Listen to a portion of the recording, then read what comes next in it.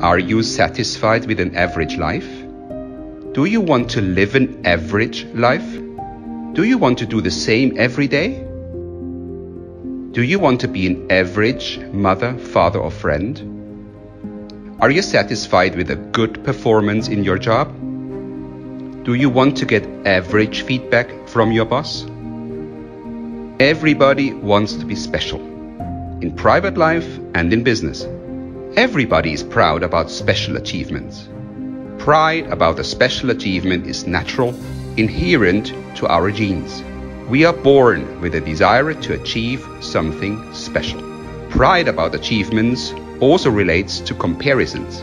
We all want to do a little bit better than other people. This natural competition inspired all those innovations over the last hundreds of years. If everybody just wanted to be average, mankind would not have achieved anything. We don't have to live exciting lives to create something excellent. Swiss watchmaking actually started many years ago in lonely farmhouses in wintertime when people were bored all day long. Average, better, excellent. Extraordinary achievements could be called excellent. Some people want to be the best in their discipline. Their outstanding achievements are called excellent. Only some people have this excellence mindset. Most of us maybe had it when we were young, but lost it over all those years of education and daily work. What makes an excellence mindset and how can we recover an excellence mindset if it is lost? So, what makes an excellence mindset? We found three key factors. Number one, the desire to achieve something truly exceptional. Number two, the wish to be better than others without unfair competition. And number three, the drive to constantly improve. And how can we recover and nurture an excellence mindset when it is lost?